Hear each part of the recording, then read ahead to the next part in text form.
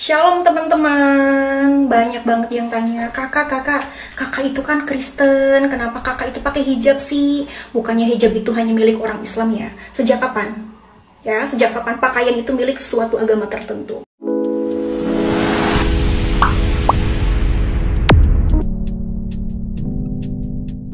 Assalamualaikum warahmatullahi wabarakatuh Baik Sobat Arek di mana pun berada Ada video wanita non-muslim Yang satu ini beda dengan yang lain ya.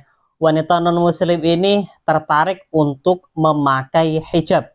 Dirinya mengaku merasa lebih cantik ketika memakai hijab ketimbang rambutnya terbuka. Bahkan dirinya menyatakan gak terima kalau hijab itu diklaim hanya untuk umat Islam saja. Waduh, ya gak masalah sih. Nah, seperti apakah videonya? Mari kita saksikan sama-sama. Shalom teman-teman, banyak banget yang tanya, kakak, kakak, kakak itu kan Kristen, kenapa kakak itu pakai hijab sih? Bukannya hijab itu hanya milik orang Islam ya? Sejak kapan? Ya, sejak kapan pakaian itu milik suatu agama tertentu? Teman-teman, sebelum Islam ada, Yahudi juga pakai hijab, Kekristenan juga pakai hijab. Jadi pakaian itu bukan um, milik agama tertentu. Dan Tuhan kita itu Tuhan yang kasih selalu memberikan free will kepada kita eh, lihat dari pakaian kita ya teman-teman tapi Tuhan melihat iman kita iman kepada Yesus Kristus. Pada Efesus pasal 2 ayat 8 sampai 9 sebab karena kasih karunia kamu diselamatkan oleh iman. Itu bukan hasil usahamu tetapi pemberian Allah. Itu bukan hasil pekerjaanmu. Jangan ada orang yang bermegah diri. Jadi Tuhan kita itu tidak pernah melihat atribut-atribut kita pakaian kita syar'i dan lain sebagainya tapi Tuhan melihat hati. Ada hukum yang pertama ialah kasihilah Tuhan Allahmu yang kedua kasihilah sesamamu. Nah itu yang Tuhan uh, teguhkan kepada kita.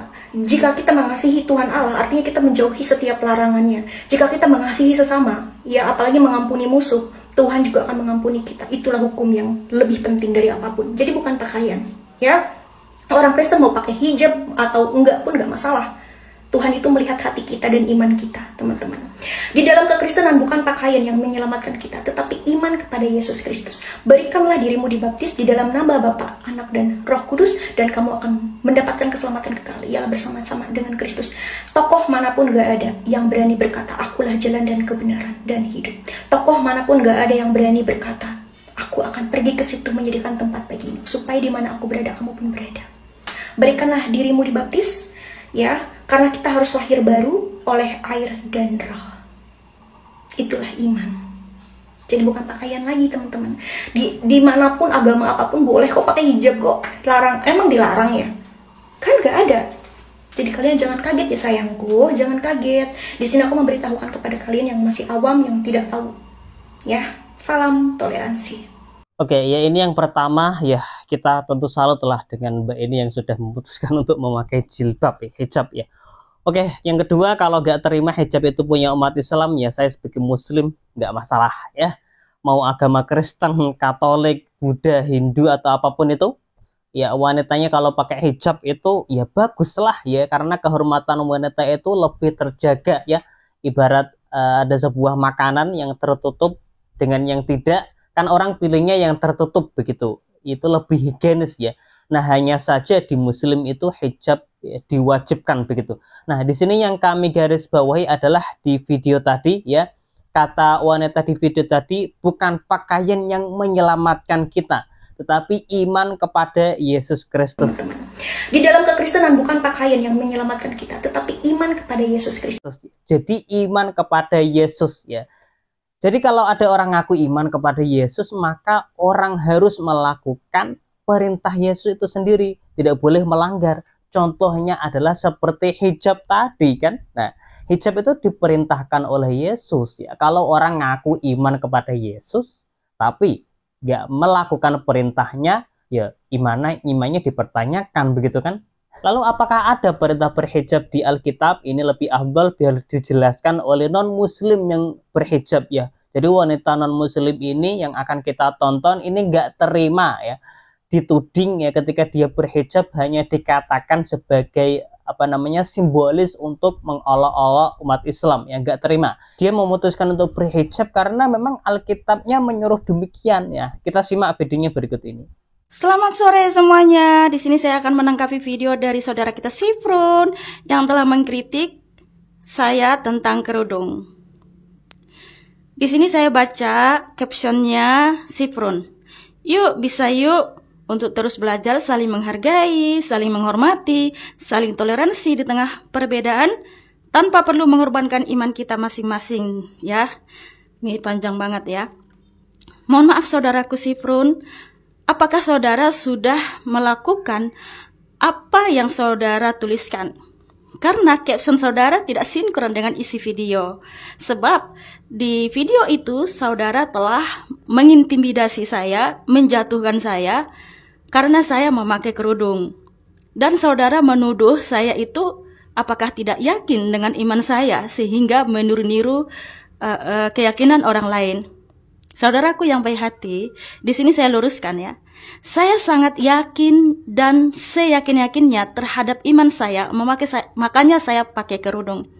Dan saudara sudah menunjukkan ya foto-foto perempuan Kristen yang memakai kerudung. Kenapa mereka memakai kerudung seperti ini?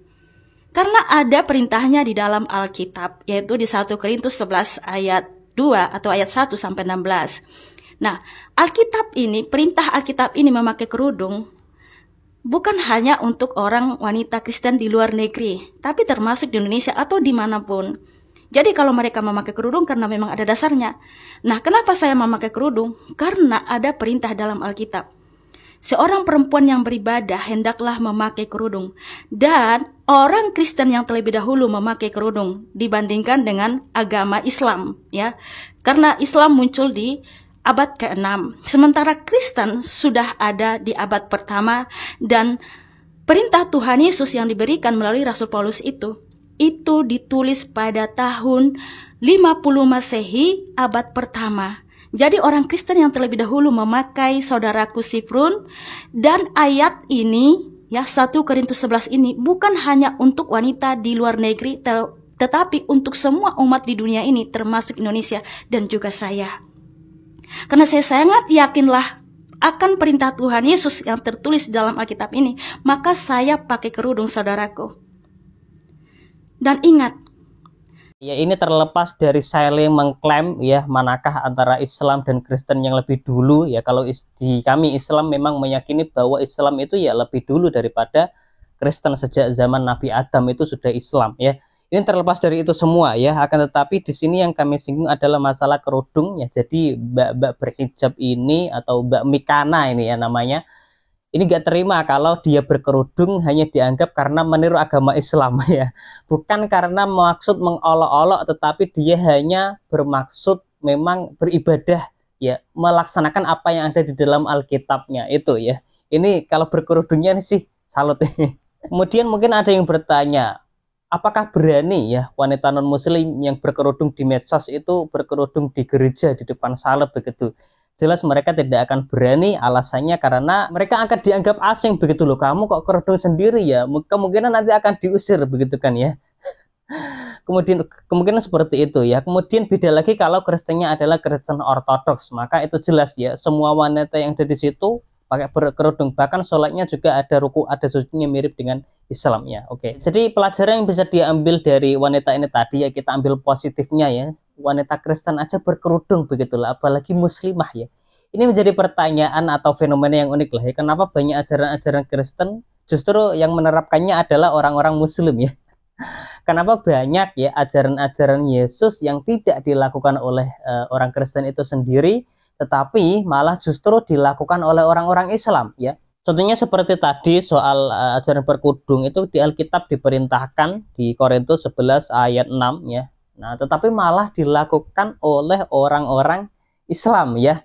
Kemudian ada lagi soal Kristen dilarang makan maaf B2 ya sebagaimana di eh, Imamat 11 ayat 7. Ini yang merapkan juga orang-orang Islam juga Kemudian di dalam uh, Lukas 4 ayat 8 di situ disuruh menyembah Allah satu-satunya Tuhan. Islam yang menerapkan bro ya. Kemudian beribadah dengan cara sujud. Wajah menyentuh tanah lalu berdoa. Itu ada di Matius 26 ayat 39 ya. Ini juga dilakukan orang Islam dalam bentuk yaitu sholat teman-teman sekalian ya. Masya Allah. Islam melakukan itu semua. Inilah yang kemudian menjadi bahan yang dikaji oleh para para mohon maaf para para calon mualaf ya yang sebelum yang sebelum akhirnya mereka menemukan atau mempunyai kesimpulan bahwa Isa itu adalah orang yang beragama Islam. Ini bagi mereka para mualaf kesimpulannya seperti itu kan. Mereka menemukan di dalam Alkitab bahwa Yesus bersyahadat, Yesus mengajarkan umatnya untuk sholat dan taubat, Yesus sunat, kemudian Yesus puasa, Yesus mengajarkan untuk bersuci atau berwudu, Yesus mengajarkan untuk mengkafani jenazah. Loh kok itu dilakukan orang Islam ya? Dan akhirnya mereka sadar ternyata Islam yang melakukan itu dan oh Nabi Isa itu mu'alaf, eh, Nabi Isa itu Islam gitu.